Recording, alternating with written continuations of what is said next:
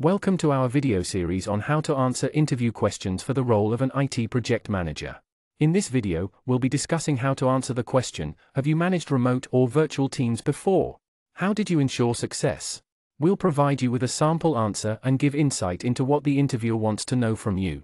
So, let's get started. Have you managed remote or virtual teams before? How did you ensure success? The interviewer wants to know if you have experience managing remote or virtual teams and how successful you were. They want to assess your ability to lead a team effectively, even if not in person. You'll give a great example to showcase your skills. Yes. I have managed remote and virtual teams in the past and have successfully ensured that the projects were completed on time and within budget. To ensure success, I prioritize communication as the top priority.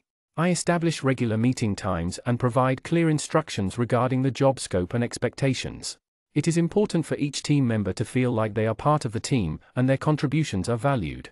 I make sure to leverage technology and utilize project management tools such as Asana, Jira, and Trello to keep track of progress, assign tasks, and delegate responsibilities.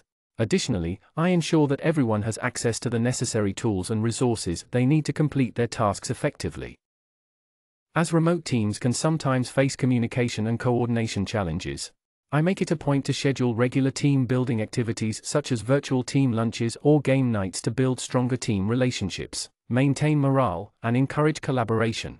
Finally, I provide frequent feedback and recognize individual and team accomplishments to keep everyone motivated and engaged in achieving the project's goals.